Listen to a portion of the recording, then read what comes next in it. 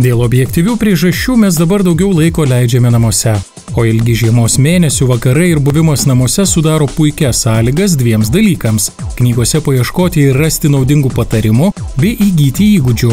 O antrasis - pritaikyti tuos įgūdžius, nes namuose čia turbūt aktualesnė informacija mūsų žiūrovams vyrams, žiūrėk neišvengiamai reikia kažką truputėlį arba rimčiau pataisyti. Mes specializuojame statybinės literatūros leidyboje, tai yra praktinė mokomoji literatūra, apimant įvairias statybinės temas. Kaip žinia, dabar karantino metu žmonės vėl e, stipriai skaito knygas, e, suvaržytas jų išvažiavimas kažkur tai, tai tas ir statistiškai matosi, kad knygų skaitimas stipriai padidėjęs. Na, o mes e, kaip statybų literatūros leidėjai šią dieną turime ypatingą projektą, tai yra pasaulio mastu unikalią knygą BIM vadovas, kuri apima įvairius statybos procesus e, ir apjungia į vieną visumą. Naujiena yra ta, kad šitoje knygoje yra integruota papildyta realybė.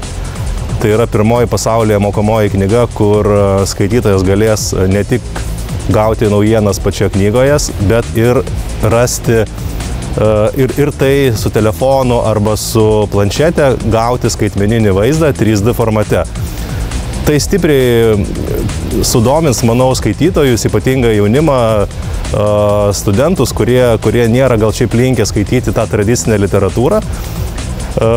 O čia jie, jie galės rasti pačioje knygoje tuos skaitmeninius vaizdus. Taip pat knyga turės elektroninį priedą.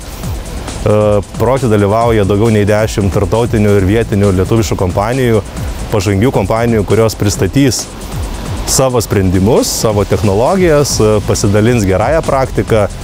Tai iš esmės e, labai, manom, praturtins ir pačią knygą, nes tai ne tik teorija, bet ir profesionalų patarimai, e, kas leis studentam ir kitiems, tai yra, sakykime, projektuotojams, taip pat statybų darbų vadovam ir, kitiems statybų verslo ir statybų srities atstovams susipažinti, kas tai yra BIM tema taip pat pamatyti geriausius šiai dienai BIM projektus įgyvendintus Lietuvoje ir užsienyje.